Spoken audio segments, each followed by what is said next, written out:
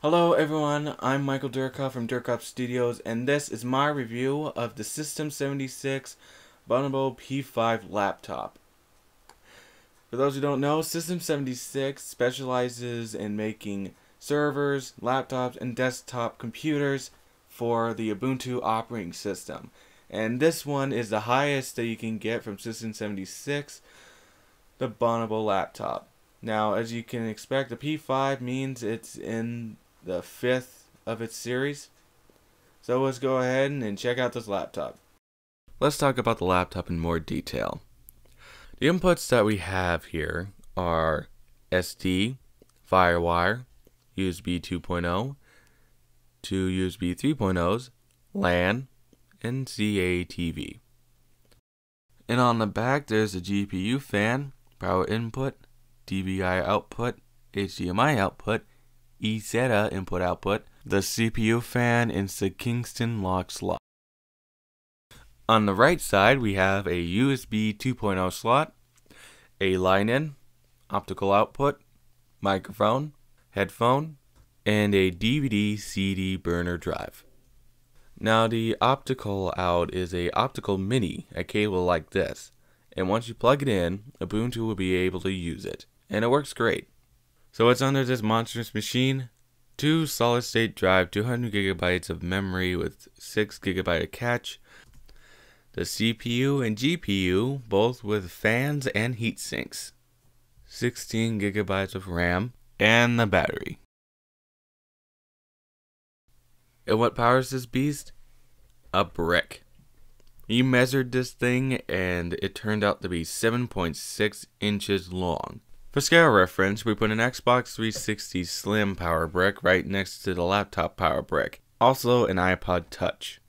The main color scheme of the laptop is pretty much jet black with white and few hints of blue and orange.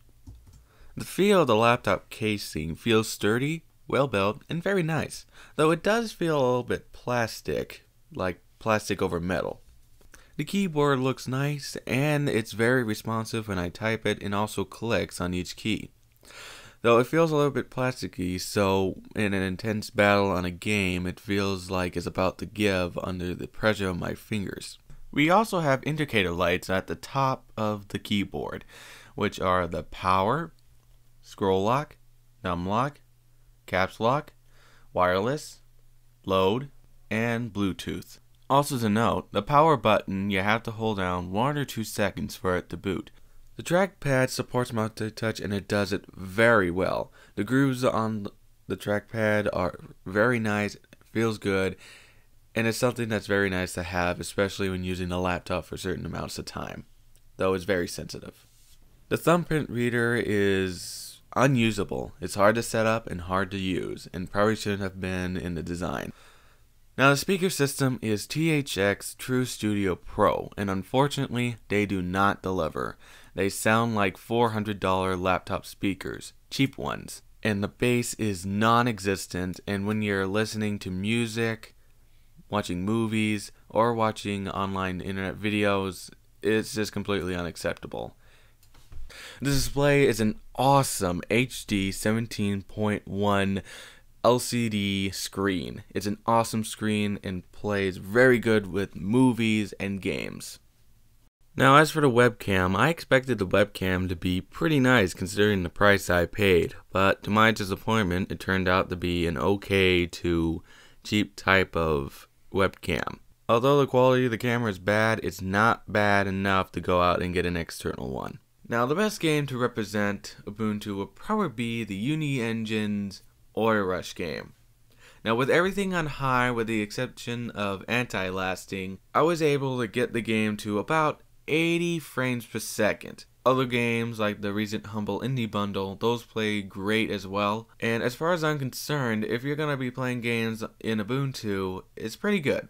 So I'm going to go ahead and let my brother take over and tell you of the games that he tried in Windows.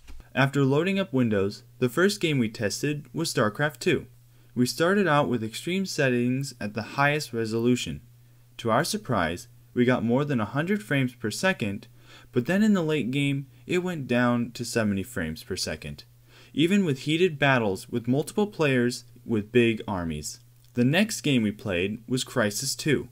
In this game, we found a huge difference in performance. We started out with ultra settings and the highest resolution. While we were playing, we only got 26 frames per second, which to any gamer is unacceptable. We decided to keep the settings but lower the resolution a bit, and we were able to get better performance of 30 frames or more, which is still not ideal for an FPS. So, in conclusion, this laptop has its flaws, especially in the audio and visual department. But to be fair, System 76 hasn't really been known to be successful in the audio department. But this thing has a lot of horsepower, making it up for its flaws, making it a very good laptop for video editing, gaming for those who have external speakers or headphones, and any other programs that really need that type of horsepower.